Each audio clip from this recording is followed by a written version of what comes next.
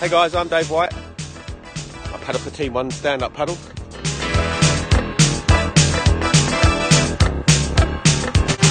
I'm from Melbourne in Victoria in Australia.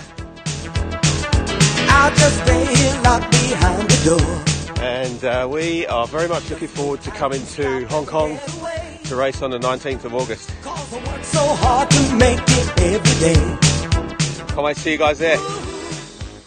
You!